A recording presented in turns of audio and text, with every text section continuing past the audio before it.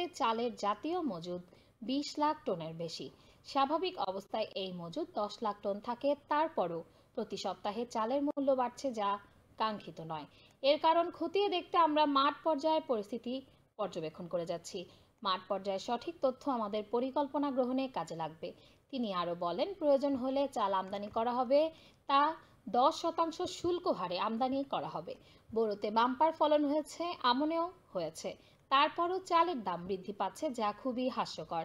বিকেলে রাজশাহী জেলা প্রশাসকের কার্যালয়ে অবৈধ মজুদদারি রোধে করণীয় ও বাজার তদারকি সংক্রান্ত মত বিনিময় সভার প্রধান অতিথির বক্তব্যে এসব কথাই বলেছেন তিনি।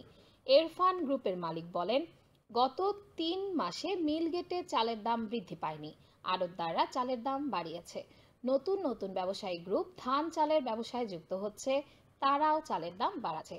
রাজশাহী বিভাগীয় commissioner G S M Zafar Ullah সভাপতিত্বে অনুষ্ঠানে রাজশাহী তিন আসনের সংসদ সদস্য আইন উদ্দিন খাদ্য মন্ত্রণালয়ের সচিব ডক্টর মোসাম্মদ নাজবান আরা খানুম, খাদ্য অধিদপ্তর মহাপরিচালক মোহাম্মদ শাখাওয়াত হোসেন, রাজশাহী রেঞ্জের ডিআইজি মোহাম্মদ আব্দুল বাতেন, জেলা প্রশাসক, Rajshahi metropolitan police commissioner, Rajshahi জেলা আওয়ামী লীগের ভারপ্রাপ্ত সভাপতি অনিল কুমার সরকার, জেলা প্রশাসক আব্দুল জলিল আঞ্চলিক খাদ্য নিয়ন্ত্রণ ও বগুড়া জেলার খাদ্য নিয়ন্ত্রণ বক্তব্য দেন এবার বাংলাদেশের বিদ্যুৎ ও জ্বালানি খাতের বিভিন্ন ক্ষেত্রে অনুদান বা ঋণ দিতে চায় ইউরোপীয় ইউনিয়ন।